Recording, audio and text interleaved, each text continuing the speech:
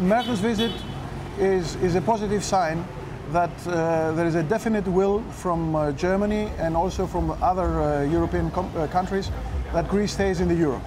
This is uh, insofar uh, an important statement and it gives the, the it, it, takes away all the doubts we had from other sources, especially from Germany.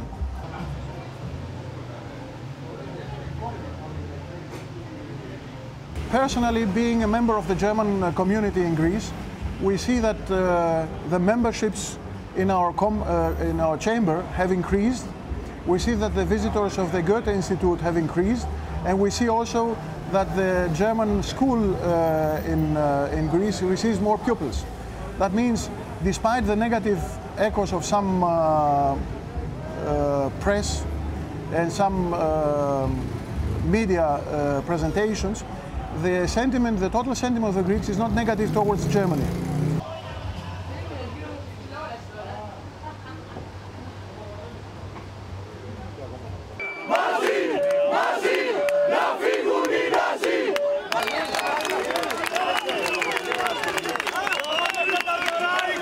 Φοβάστε, θα τους γκρεμίσουμε.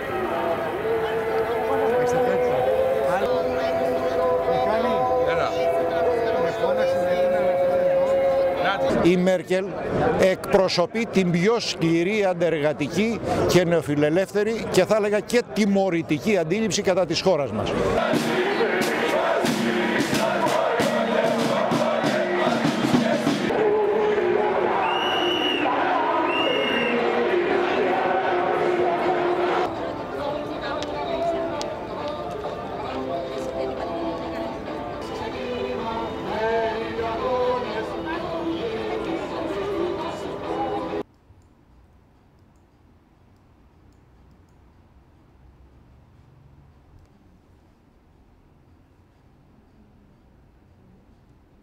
I think it's a step in the right direction, but we have lots of moving parts. One of them is the Troika report, um, which has been delayed for some, some while now. And the issue, uh, the reason it's been delayed is that the IMF, one of the constituents in the Troika, um, only lends into uh, fiscal situations which the debt is sustainable.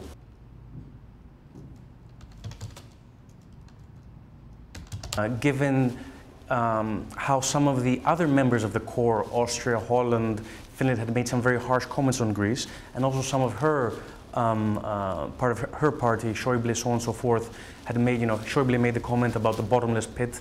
So I think it does send a message uh, to Greece, but it's also equally important, if not more important, for the German domestic consumption. In that, you know, they were told that Greece is idiosyncratic, it's a special case, Greece does not deserve, so I think it's very important for their domestic uh, politics and upcoming elections.